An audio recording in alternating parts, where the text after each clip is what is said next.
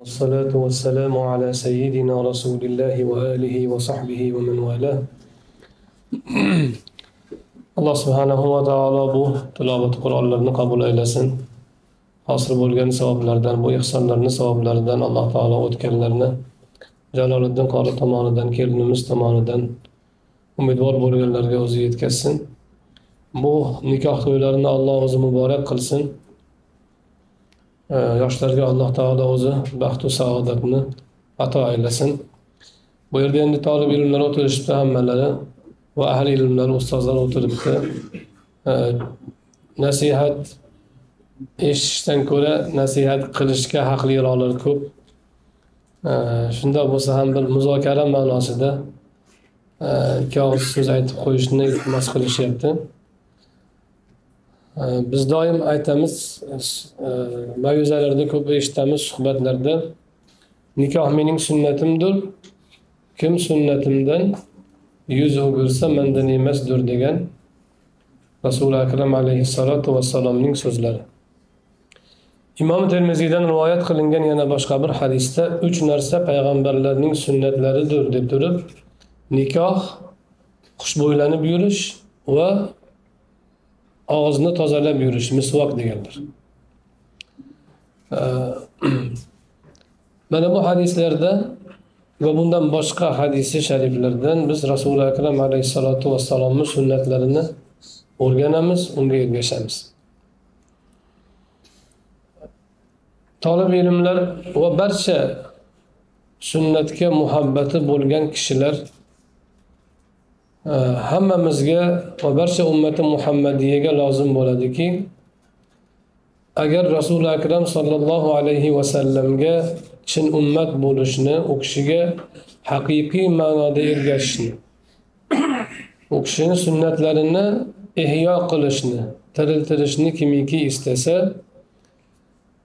rasuli akram alayhissalotu vassalomning hollariga ergashish lozim bo'ladi. Xo'ja ahror valiyni risolai volidiya asarlari bor. Forsiy yozganlar dadalari aytganlarki bu e, tariqatni tasavvufni hamma ham oson tushunavermaydi u kitoblar ko'p kitobi sunnatdan olingan ta'limotlar ko'p sharhlar ko'p. Buni hammasini omi odamlar o'qiy olmaydi. Sanga o'g'lim mani tavsiyam bir kichkina risola yozgin shunday risolaki har qanday odam o'qib o'shandan allohga vosil bo'la olish yo'lini topa olsin. Faqat ulamolar faqat e, katta ilm egalarigina o'qiy oladigan katta kitoblar yoki o'sha murakkab ma'rifiy asarlarni o'qibgina erishish emas allohga sodda oddiy tilda oddiy odam ham erisha oladigan bir allohga yetisha oladigan bir yo'lni haqiqiy sunnat yo'lini ko'rsatuvchi bir risola yozgan nazm bo'lsin yodlab olsin odamlar deganlar. Keyin xo'ja ahror valiy bilasizlar xo'ja ahror valiy e, e, o'sha vaqtda naqshbandiya tariqatini xalifasi bo'lgan. Xolid naqshbandiygacha bo'lgan e, xalifalarda yer yuzi bo'yicha xalifa bitta bo'lgan. Hazrat naqshbandni shogirdi u kishini shogirdi bo'lib kelgan. Yer yuzi bo'yicha barcha naqshbandiylar bitta xalifaga qaragan. Hozirgidaqa u yoqda alohida murshid bu yoqda alohida murshid bo'lgan emas. Murshid bitta bo'lgan yer yuzi bo'yicha qolgan hammasi o'sha kishiga tobe xalifalar bo'lgan. Hazrat naqshbanddan tortib shunday kelgan. Xo'ja valiy ham o'z davrida butun e, yer yuzi bo'yicha naqshbandiylarni bosh murshidi bo'lganlar. O'shaning uchun bu risolani keyin otasini vasiyati bilan yoki nasihati bilan yozganlarda risolai volidiya deb atab qo'yganlar. Ota risolasi deb otasidan olgani uchun fikrni. Keyin e, e, zahiriddin muhammad bobur bir isitmalab kasal bo'lgan paytida hech shifo topmagan. Keyin niyat qilganki bir solih amal qilib shuni vasila qilib allohdan shifo so'rayman degan ko'ngliga kelgan shuga va xo'ja ahrorni shu nazmlarini risolai volidiyani turkiyga nazmda o'girib shu amalni vasila qilib shifo topishi uchun tarjima qilgan. Risolai volidiyani o'sha eng baland istimada yozgan bobur. Tugatishi bilan isitmay qolgan va bemorlikdan xalos bo'lgan. O'sha risolai volida kechgina birashura lekin ichidagi ma'nosi amal qilaman desangiz tadbiq qilaman desangiz bir umrga yetadi. Unda zikr ham bor sunnatga qanday ergashish ham bor shariatga qanday amal qilish ham bor. Har qanday nafaqat oddiy musulmon uchun ya'ni ilm olim bo'lmagan odam uchun. Olimga ham kerak bu narsa o'zi olimlar ham muhtoj. Hozirda man o'zim shu risola volidiya darajasidagi ilm egasini topish qiyin deb o'ylayman. O'zi sodda lekin juda katta ilmni ma'rifatni jamlagan risola o'shanda bitta so'z bor. Ma'rifat betabaiyat bo'lmas degan. Kishi ollohni tanishi uchun ma'rifat bo'lishi kerak. Ma'rifat qur'ondan sunnatdan lafzidan ishorasi olinadi. Ya'ni alloh taoloni ma'rifati alhamdulillahi robbil alamin bo'lsa masalan olamlarni robbi degan so'z bitta ma'rifatni bitta dalolat qilguvchisi ya'ni dalolati. Bu dalolatlar qur'onda sunnatda bor lekin uni qalb anglashi uchun alloh taolodan ma'rifat unga ilqo bo'lishi kerak. O'sha ma'rifat tabaiyatsiz bo'lmaydi deydi. Sunnatga ergashishsiz bo'lmaydi. Ma'rifatga ya'ni alloh subhanahu va taoloning haqiqiy ma'rifatiga sunnatni o'qib emas o'qib demoqchi emas. Yo'q sunnatga ergashmasdan erishib bo'lmaydi. Sunnatni o'qib yodlab oling ma'rifat hosil bo'lmaydi. Agar ergashmasangiz. Chunki u alloh taolo qalbga soladigan nur bo'ladi. Uni uni siz kitobdan to'g'ridan to'g'ri ololmaysiz. Qur'onni ming marta xatm qiling chiqmaydi. Sahih buxoriyni yoddan biling chiqmaydi. Hidoyani yoddan dars bering chiqmaydi. Tasavvufni dars bering chiqmaydi. U faqat amal bilan sizdan amal alloh taolodan tavfiq va allohni o'zini o'zi tomonidan qalbingizga ilhomi bilan hosil bo'ladigan ma'rifat. O'sha ma'rifat yaqiniy ma'rifat deyiladi. U aqldan ustun turadi. Aql bilan olinmaydi. U qalb bilan olinadigan ma'rifat bo'ladi. Ana shuni tasavvuf beradi. Shuning uchun shariat buyuradi tariqat shariatni tadbiq qilishga yo'l ko'rsatadi. Tariqat orqali shariat butun vujudingizda o'z o'zidan avtomat tadbiq bo'lishga o'tgandan keyin ma'rifat hosil bo'ladi. Banda tomonidan taqdim qilinadigan buyurilgan talab qilingan narsa shariat. Undan keyin shariatni yo'lga solish uchun tariqat ya'ni bir yo'sin. Va unda bardavomlik bilan haqiqatni hosil qilinadi ma'rifat o'zi keladi. Uni alloh subhanahu va taolo xohlagan bandasiga xohlagancha beradi. Uni chegarasi yo'q. Shuning uchun kamolotni chegarasi yo'q deganda shu aytiladi chunki alloh taoloni kamolot sifatlarini chegarasi yo'q. Shuning uchun allohni ma'rifatini chegarasi bo'lmaydi. Har kim qanchadir oladi ollohni bergan nasibigacha. O'shanda o'sha ma'rifatni aytyaptilar. Ma'rifat betabaiyat bo'lmas deganda o'sha ma'rifatni aytgan. Ma'rifat kitob o'qishsiz bo'lmaydi demoqchi emas. Ma'rifat kitob o'qish ham kerak. Yo'q ma'rifat bu kishi aytayotgan ma'rifat. Tabaiyatsiz bo'lmaydi. Sunnatga ergashishsiz orqasidan aytadilarki e, bir nabiy bir nabiyga tabaiyat qilmoq qaysi ishlarda kerak so'zima bor endi payg'ambarga ergashish bilan ma'rifat hosil bo'ladi deydigan bo'lsak hop rasuli akram alayhissalotu vassalomga ergashish nima ishlarda bo'ladi? Gapimga quloq solgin. Qavliyu fe'liyu holi durur ul. Ish budur so'z buduru budur yo'l degan. Qavlida so'zlarida ergashish fe'llarida ergashish hollarida ergashish. Ish mana shu gap shu yo'l shu. Bundan boshqasi yo'q. Agar kimiki so'zlarida ergashsayu so'zlarida ergashish degan u kishi kabi so'z amaliyotida u kishini sunnatiga ergashish ya'ni g'iybat qilmaslik masalan chaqimchilik qilmaslik birovni sotmaslik xiyonat qilmaslik yolg'on gapirmaslik kabi so'zdagi sunnatlarga ergashish hamda yaxshi so'z aytish hammaga biror kishiga yomon so'z aytmaslik so'zda ergashish va rasulullohni so'zlariga ergashish. Undoq qil mundoq qil mundoq qilma undoq qilma degan. Fe'llariga ergashish amallarga ergashish. Hollariga ergashish u kishini botiniy qalbiy holatlariga ergashish. Uchalasi jamlanmasa sunnat tirilmaydi.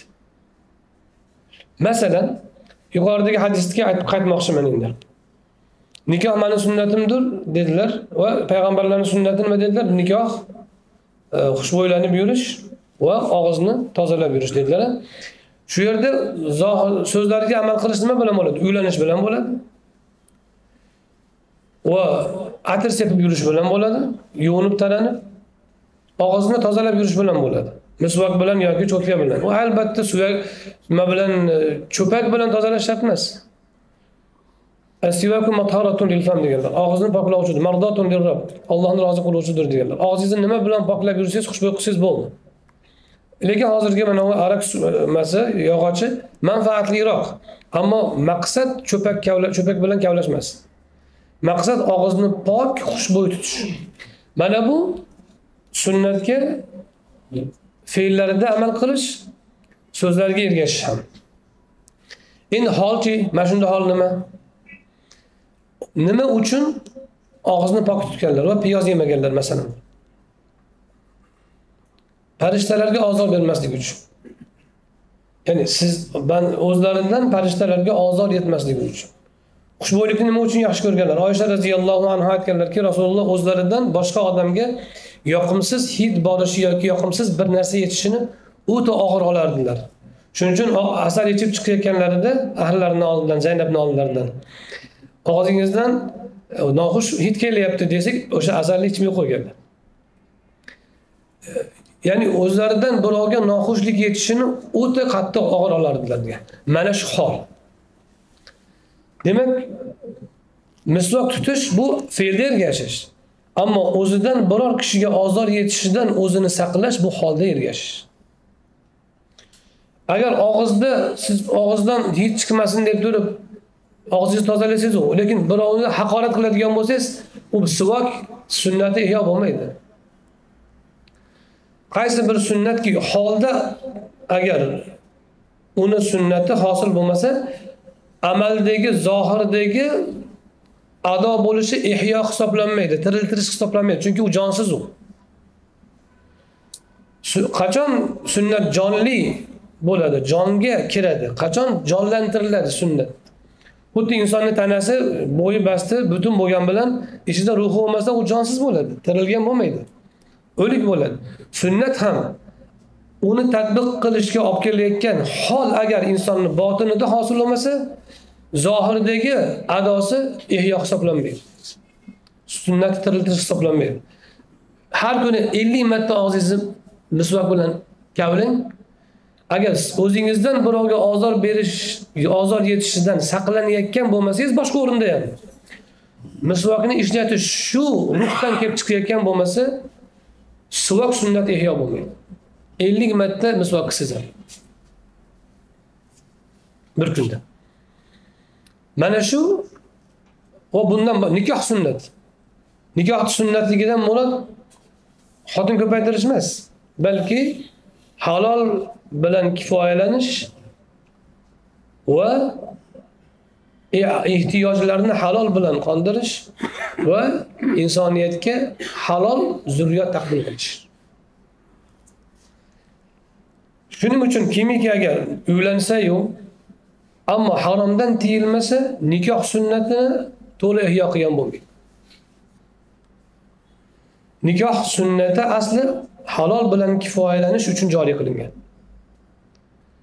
Agar uni ko'zi so'zi nafsi halol bilan kifoyalanmayotgan bo'lsa nikoh sunnati hali to'la ihyo bo'lmagan bo'ladi. Xushbo'ylik ham xuddi shunday xushbo'ylik qarangki xushbo'ylik masalan inson gohida o'zidan bexosdan bir noxush hid kelishi mumkin. Shunda birovni burniga o'sha noxush hid yetishi mumkin. Shunda unga ozor yetishi mumkin. Shu ozor qanchalik o'lchanadi masalan? juda basit juda ham yengil ozor bo'ladi. Insondan bir noxush hid kelib qolsa og'zidan yoki tanasidan sizga. Ozor yetadi burningizga lekin juda yengil ozor. U ozor masalan yonimdan uzoqlashishingiz bilan arib ketadi yo'qib ketadi. Endi shu darajadagi oz ozordan ham birovga bexosdan yetadigan ozordan ham o'zlarini ehtiyot qilgan bo'lsalar va bundan qaytarganlar shuning uchun sarimsoq yeb piyoz yeb kirmanglar masjidga deganlar. Maqsad sarimsoq piyoz emas balki maqsad yoningizdagi odamga sizdan ozor yetmasin. Ma'no shu.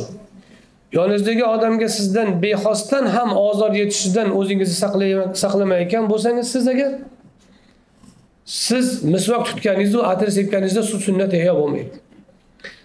O'shanaqa darajadagi oz ozordan ham saqlanish uchun xushbo'ylikni o'zlariga? Hatto farishtalarga ozordan saqlanish uchun piyoz yemaganlar o'zlari. Ana shu boshqaga hatto farishtalarga ham ozor yetib qolishidan saqlanish ruhi yashasa kishida o'sha odamni shu ruhdan kelib chiqib qilgan sivoki misvoki sunnatga ihyo bo'ladi. Shu ruhdan kelib chiqib qilgan sepgan atiri sunnatga ihyo bo'ladi. Ammo palonchidan ko'ra yaxshi atir sepayin deb sepayotgan bo'lsa yoki shunchaki atir sepib xushbo'y yuribdiyu lekin og'zidan chiqqan so'z. Birovga ozor berayotgan bo'lsa birovga moliyaviy zarba berib ozor berayotgan bo'lsa birovga so'z bilan ozor berayotgan bo'lsa birovga qo'l bilan ozor berayotgan bo'lsa u odamni sunnatni ihyo qilayotgan odam hisoblanmaydi. Misvokni og'zingda solib solib chaynab yurgan bo'lsa ham atirga cho'milib yurgan bo'lsa ham. Chunki unda o'sha sunnatlarni bajarish uchun kerak bo'lgan ruh yo'q hol yo'q. Modam holda ergashish bo'lmasa sunnat ihyo bo'lmaydi. Shuning uchun rasuli akram alayhissalotu vassalom deydilar sizlarni eng yaxshingiz ahliga eng yaxshi bo'lganingiz va man ahliga eng yaxshingizman deganlar. Nima uchun shu gapni aytganlar? Chunki inson odatda ahlida bori ochiladi chunki onda sonda ko'rishadigan odam bilan chiroyli muomala qilolmaysiz ancha muncha achchig'ingizni yutib turolmaysiz. ancha muncha aybingizni yashirib turolmaysiz. Ancha muncha chiroyli tomoningizni ko'rsatib turolmaysiz. Lekin surunkali takalluf bilan yasholmaydi inson. Inson oilada o'zini oilasida ahl bilan murod faqat erga xotin xotinga er emas erga xotin xotinga er ham bolaga ota otaga bola ham aka uka uka aka bir biriga ham. Inson o'zi yashayotgan oilada o'zini tabiiy suratda yashashga majbur bo'ladi. qaytadi o'zini tabiiy suratiga ba'zi odam ko'cha xandoni yuzindoni bo'ladiyu u odam asli qalbi yomon odam bo'ladi. Faqat tashqariga chiqqan paytida o'sha marazini yashirib yurishga kuchi yetayotgan odam bo'ladi. Ammo ahlida serg'azab sal narsaga achchig'i chiqadigan yoki sal narsaga po'pisa qiladigan yoki uyda notinchlik yaratadigan bo'lsa agar inson demak u odam asli yomon inson. Tashqarida muomalada o'zini sparishtalayotgan bo'ladi nimaga rasuli akram alayhissalotu vassalom kishining yaxshiligini me'yorini uning oiladagi holatiga bog'lab qo'ydilar? Chunki insonni asli holi botini o'zini oilasida yuzaga chiqadi iloji yo'q chiqmasdan. Chunki surunkali inson o'zini sun'iy qolipga solib yurolmaydi. Demak o'zingizni kimligingizni tanimoqchi bo'lsangiz ahlingizdagi holingizga qarang deyaptilar.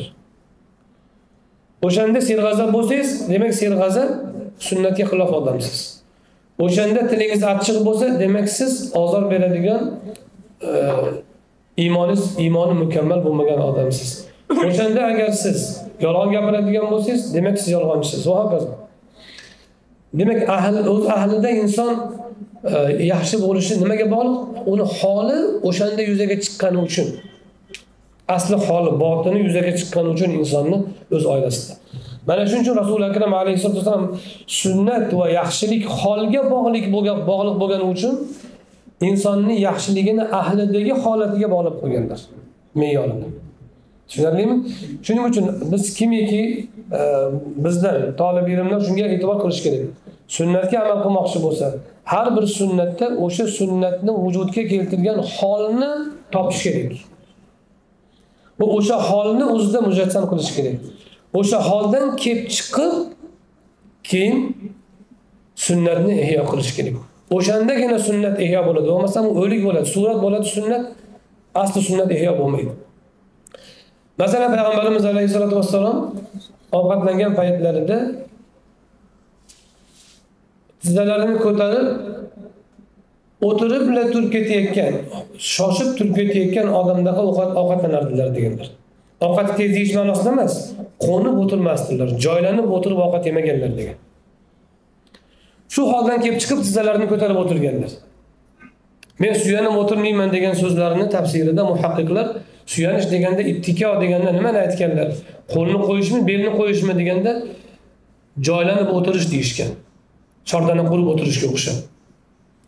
Bundan qaytarmoqchi emaslar chordana qurib o'tirish harom demoqchi emaslar lekin rasuli akram alayhissalotu vassalom hollari risolatni mas'uliyatidan ibodatga o'tayam sho'rg'inganlaridan allohga doim bog'langanlaridan hayot dunyo hayoti ne'matlaridan o'ta kam va zarurat miqdorigina foydalanishga o'rganganlaridan ovqatga uzoq vaqt sarflash uni loyiq ko'rmaganlaridan va ovqatni yeb chaynab uzoq o'tirishni o'zlariga loyiq munosib ko'rmaganlaridan musofir odam yo'lda tushib bir ovqat yeb ketgandaqa ovqatlanganlar doim.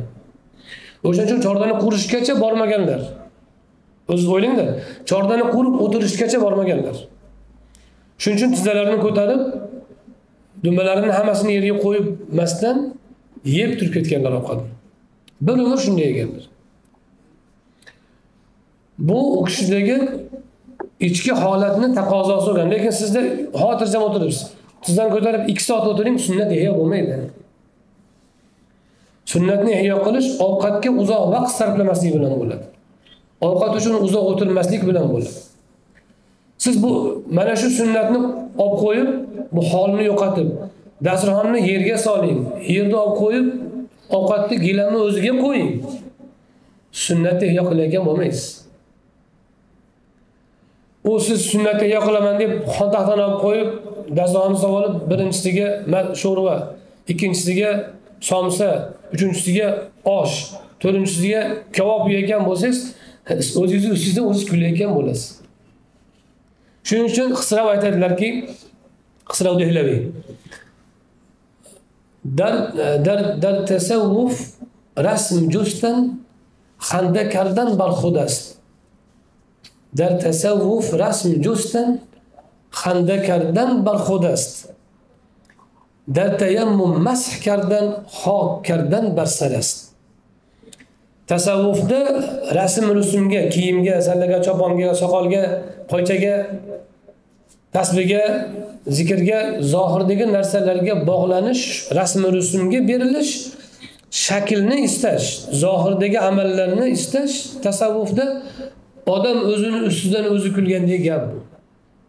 Sunnat ihyo bo'lmaydi.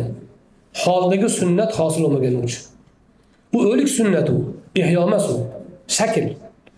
Misol aytadilarki tayammumda boshga masx tortish boshni kir qilib turpoq qilish xolos deydilar. Tasavvufda rasm rusumga zohirga qarashlik tayammumda boshga masx tortgandek gap. Nima demoqchi? Tayammumda mas tortish bormi? Yo'q. Tayammum qo'lga yuzga mas tortishdan iborat hop boshga mas tortsangiz nima qilgan bo'lasiz? Umuman tayammumga aloqasiz ish qilgan bo'lasiz. O'shani o'zi bilan qutulasizmi? Yo'q. Tayammumga aloqasiz ish qildingiz aksiga boshingizni kiram qildingiz sunnatga ergashishda holni yo'qotish tayammumda boshga mas tortgandek gap boshingizni turib qilganingiz qoladi. Sunnatga aloqasiz ish qilgan bo'lasiz. Ya'ni ihyo bo'lmaydi. Tasavvuf xususan mana shu narsani ta'lim beradi. Nikohlanishda oilada yashashda ilm olishda ilm o'qitishda hammasida ana shu turish kerak. Shuning uchun ta'lim dars berish ma'lumotlarni uzatish emas alloh subhanahu va taoloning risolatini yetkazishdan iborat bo'ladi. Omonatni yetkazishdan iborat bo'ladi. O'sha ruh yo'qolsa doskaga ellik marta yozib bering darsni. Siz sunnatni ihyo qilayotgan bo'lmaysiz o'sha ilm bilan. Mana shu tolib ilmlarga va barcha sunnatga muhabbatli kishilarga va sunnatga ergashmoqchi bo'lganlarga lozim bo'lgan narsa. Xo'ja ahror valiy mana shuni ta'kidlaganlar. Zahiriddin muhammad bobur mana shu ma'noni aytganlar. Alloh taolo hammamizga sunnatga ana shunday holda ham ergashishni o'zi muvaffaq aylasin. سبحان ربك رب العزة عما يصفون وسلام على المرسلين والحمد لله رب العالمين.